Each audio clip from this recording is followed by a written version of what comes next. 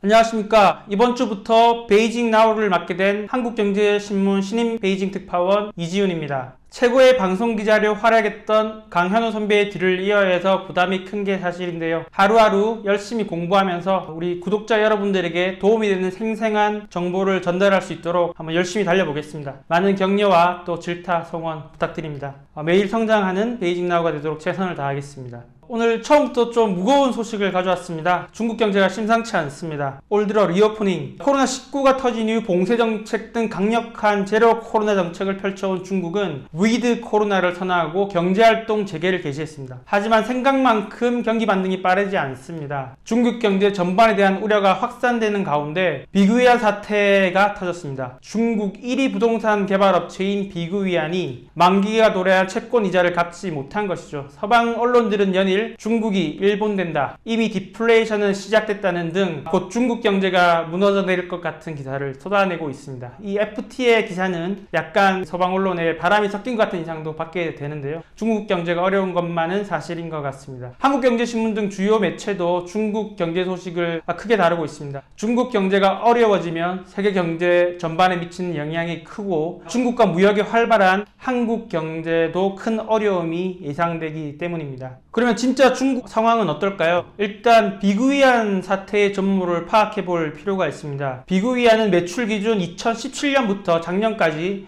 중국 부동산 개발업체 중 1위입니다. 올해 위기를 겪으면서 6위로 추락했지만 사실 중국 부동산 1위 개발업체라고 보면 될 것 같습니다. 진행 중인 프로젝트가 무려 7,000개에 달한다고 하고요. 달러 채권 발행량도 중국 부동산 회사 중 1위입니다. 이 비구이안이 만기가 돌아온 달러 채권의 이자를 갚지 못한 것인데요. 이게 지난주 6일 상황입니다. 30일간의 유예 기간이 있는데 이 기간 동안에도 이 돈을 갚지 못하면 이른바 채무불이행 디폴트에 빠지게 됩니다. 다시 말해서 회사의 현금 흐름에 문제가 생기면서 당장 이자를 낼 돈이 없다는 건데요. 쉽게 볼 상황은 아닌 것은 분명합니다. 물론 비구이안이 덩치가 크긴 한데 중국 부동산 시장은 완전 경쟁 시장입니다. 중국 정부는 1997년 기존의 국가에서 관리하던 부동산 시장을 개방했습니다. 도시로 물밀듯이 밀려온 사람들을 수용할 새로운 거주지가 많이 필요했고 부동산 시장은 화랑을 잃었습니다. 부동산 철강, 자재, 시멘트, 가전까지 각종 유관 산업의 발전을 촉발시켰고 중국 경제는 부동산 부동산 호황 속에 급속도로 성장을 거듭했습니다. 비구엔의 전체 비중은 5에서 7% 정도에 불과합니다. 부동산 개발업체 중에서요. 비구이안 하나가 무너진다고 해서 시장 자체가 붕괴하는 것은 아니라는 의미입니다. 그런데 문제는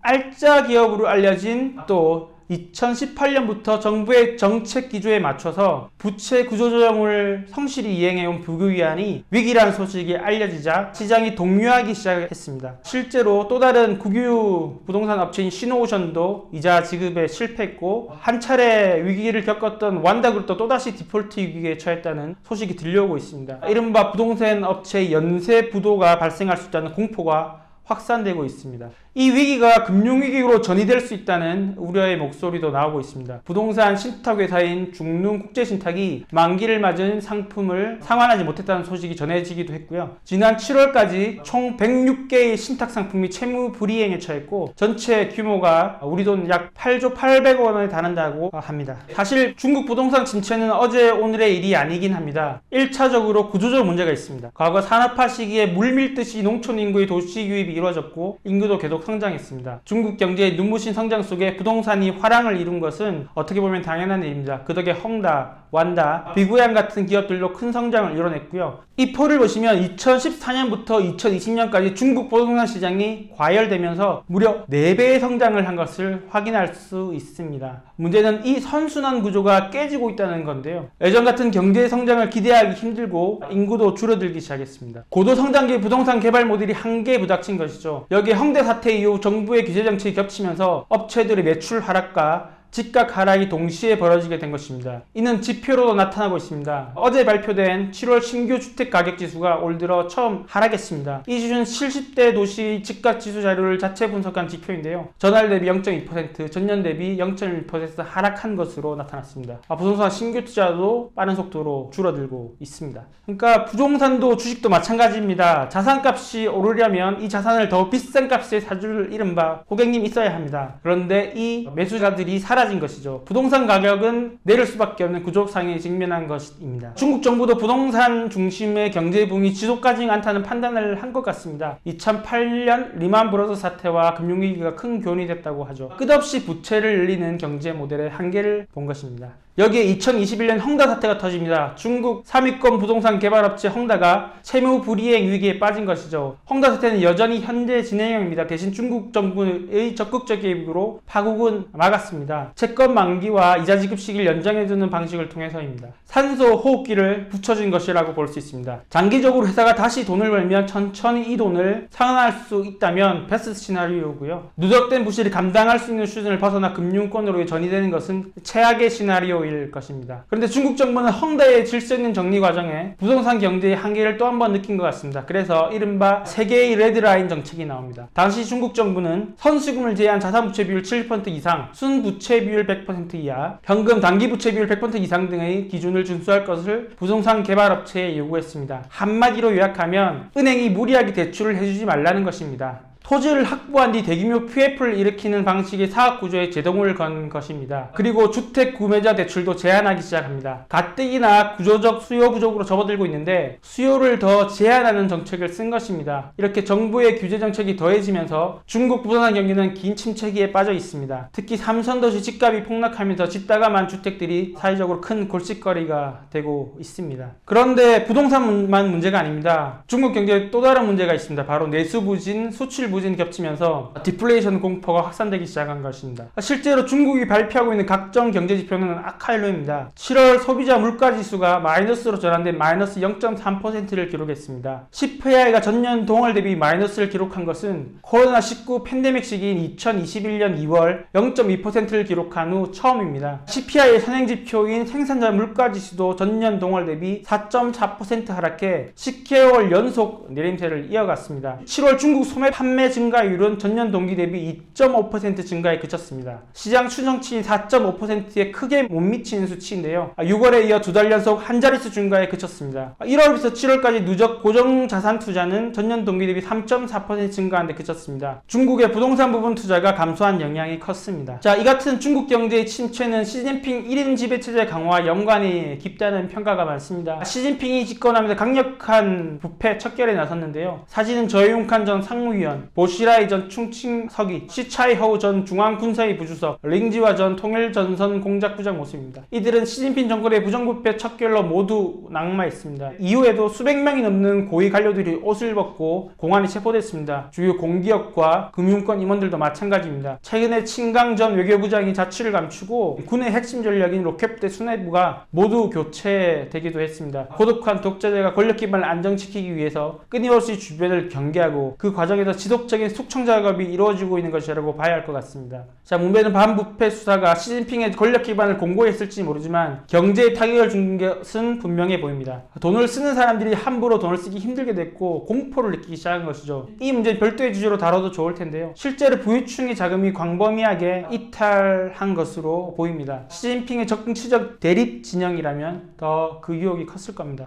당연한 일이겠죠. 그 다음 제로다 코로나 정책의 폐도 심각합니다. 인구 2,500명이 넘는 상하이를 봉쇄할 것이라고 그 누가 상상이나 했겠습니까? 당시 상하이 계셔분들 이야기를 들어보니 정말 전쟁통이 따로 없었다고 합니다. 여기에 글로벌 수요 부족과 미중 패권 갈등에 따른 공급망 다변의 시로 중국의 대외 수출도 큰 폭으로 감소하고 있습니다. 불안한 경제 상황과 코로나19를 거치면서 중국인들의 투자 소비 심리도 크게 위축됐고요. 그 결과 소비 부진이 심각한 상황입니다. 기업들은 매출 확보를 위해서 저가 경쟁을 펼치고 물가는 더 떨어지는 악순이 반복되고 있는 것입니다. 중국 사람들이 아, 지갑에서 돈을 열지 않고 있는 것이죠. 자, 이제 부동산 위기, 내수 부진, 글로벌 수요 악화, 그리고 대중국 수출 통제를 강화하는 미중 패권 경쟁의 격화까지 중국 경제는 심각한 위기에 직면한 것은 사실 분명해 보입니다. 그렇다면 두 가지 질문을 할 수 있을 것 같습니다. 첫 번째, 중국은 정말 전례 없는 디플레이션 국면에 접어들었는가? 두 번째, 중국은 이 위기를 극복할 수 있느냐입니다. 디플레이션이냐 아니냐를 놓고 의견이 엇갈리고 있습니다. 있습니다. 블룸버그 로이터 등 서방 언론은 중국이 디플레이션에 이미 진입했다. 문제는 얼마나 지속되는지 여부다 라고까지 이야기하면서 이야기하고 있습니다. 반면 중국은 일시적인 수요 부진에 불과하다고 맞대응하고 있습니다. CPI가 마이너스를 기록한 일시적 현상을 놓고 디플레를 논하는 것은 맞지 않다는 것이죠. 우선 은행에서 잠자고 있는 30조 위안 규모의 돈의 행방이 관건입니다. 지난 4월 기준으로 약 28조 위안 이 은행에 예치돼 있는데요. 코로나 직전 약 15조 위안의 예금에서 두 배 가까이 늘어난 것입니다. 유동성 문제라기보다는 이미 충분 유동성이 실물 소비로 이어질 수 있냐의 문제라는 것이죠. 코로나 봉쇄 등 공포 정치를 겪으면서 얼어붙은 투심을 어떻게 자극할 수 있느냐가 중국 물가 하락 극복의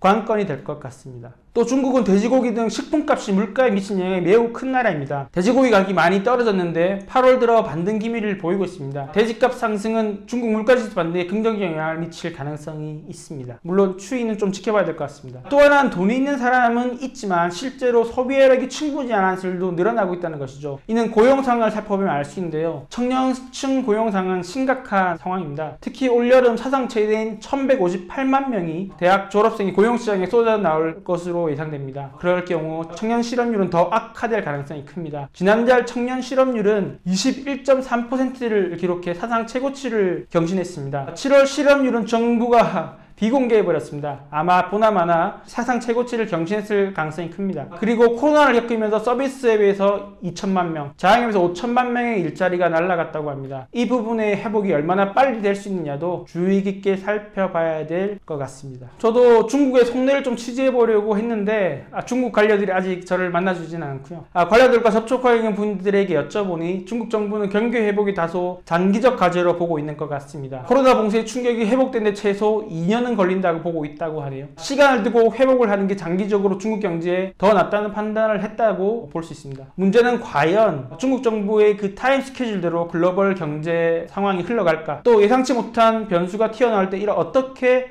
정부가 대처할 수 있을까? 이런 것들이 문제가 될 수 있습니다. 중국은 쓸 수 있는 정책 카드가 많다고 자신을 하고 있다고 합니다. 하지만 디플레이션이라고 하는 경제 위기는 중국이 한 번도 겪어보지 않은 상황이라는 측면에서 극복이 쉽지 않을 것이라고 보는 시각도 많이 있습니다. 중국이 일본처럼 긴 불황의 늪으로 빠져들지 중국 본제의 자신감대로 큰 탈 없이 지나갈지는 조금 더 추이를 지켜봐야 할 것 같습니다. 자, 부동산 문제는 어떨까요? 일단 비구이안의 순부채 규모가 매각 가능 자산인 1조 1200 위안보다 작고 2018년부터 아, 비구이안이 재무 안정성 확보와 부채 구조 조정을 진행해온 점에 비춰서 관리할 수 있는 수준에서 사태가 일단락 될 것이라는 낙관론이 조금 더 우세한 것 같습니다. 중국 정부가 지난달 부동산 개발 업체의 자금 지원 확대 방안을 발표했는데요. 정책 지원이 뒤따를 가능성도 매우 큽니다. 이대로 비구 위안이 무너지도록 내버려둘 가능성은 낮지 않겠느냐는 하는 시각인 것이죠. 과거 중국은 헝다그룹이 2021년 파산 위기에 처하자 정부가 직접 개입하면서 질서 있는 대처로 방향을 틀어 사세 수습을 했습니다. 이번에도 정부 개입 가능성이 거론되는 이유고요. 부동산 규제를 완화할 가능성도 있고 또 부채 비율 완화를 통해 은행 대출 지원을 풀어주면 부동산 개발업체들 유동성 부족 문제를 해결하면서 부도 위기를 막을 수 있다는 시각입니다. 15일 중국 중앙은행인 인민은행이 단기 정책 금리를 0.15%포인트 인하한 것도 정부 개입에 힘을 실어주는 배경입니다. 지금 한국을 포함한 외국 언론과 전문가들은 부동산 위기가 중국 경제를 뒤흔들 수 있다는 우려를 쏟아내고 있는 반면 중국 현지는 사실 크게 동요하고 있는 것 같지는 않습니다. 중국 관료들을 최근에 만난 분들의 이야기를 들어보면 자신들은 리먼 때부터 부동산 위기를 준비해왔다 이러면서 자신을 보인다고 하고 그럼에도 불구하고 중국 정부의 규제 정책이 지금 부산 위기에 일정 부분 기여를 한 것은 사실로 보입니다. 비그의하는 정부의 채무 조정 프로그램을 잘 따랐던 회사거든요. 그런데 이런 알짜 회사도 유동성 위기에 빠졌다는 점에서 정부의 유동성 조이기 정책이 부동산 시장에 큰 충격을 준 것이라고 볼 수 있죠. 중국 정부는 계속해서 부동산 투기 자산은 아니다는 메시지를 내고 있는데 부동산 주도 경제는 안 된다는 정부의 의지가 시장을 왜곡한 부분도 없지 않아 보입니다. 중국 정부는 과거에 경제 위기 그리고 중국 중국은 여기까지란 서방의 저주를 극복하면서 성장 가도를 달렸습니다. 이번에도 그 결과가 어떨지 저도 몹시 궁금합니다. 다만 시진핑 집권 3기를 넘어가면서 강화된 통제 정책이 개인의 창발성을 제한하고 있는 점이 저는 오히려 중국 경제에 더 큰 리스크로 보이기도 합니다. 사실 오늘 유튜브 첫방이기도 하고 좀 가볍고 재밌는 주제로 시작하려고 했는데 지금 돌아가는 상황이 이 주제를 도저히 건너뛸 수 없었습니다. 워낙 큰 주제이고 다뤄야 할 이슈도 많다 보니 오늘 중국의 디플레이션 위기, 부동산 위기에 대해서 집중적으로 다뤘습니다. 사실 제가 제가 베이징 도착한 지 얼마 안 됐는데요. 본사에서도 그래서 중국 경제 위기냐 저한테 물어보는데 사실 저도 솔직히 잘 모르겠습니다. 위기는 분명해 보이는데 그 위기의 깊이와 폭 그리고 이를 대처하는 중국 정부의 준비가 어느 정도인지가 관건이 될 것입니다. 한국경제신문은 앞으로 중국 경제 상황을 대해서 면밀히 살피고 또 추적해 보도할 것입니다. 독자 여러분도 많은 관심 가져주시고요. 베이징 나우 위기도 부족하나마 힘차게 노를 저어가겠습니다. 우리 강현우 선배가 우리 구독자 여러분들에게 허재라는 애칭으로 많이 불렸던 것으로 알고 있는데요. 허재는 가고 마양이 왔습니다. 베이징 나우 위기 많은 사랑 부탁드립니다. 베이징에서 이주인이었습니다. 감사합니다.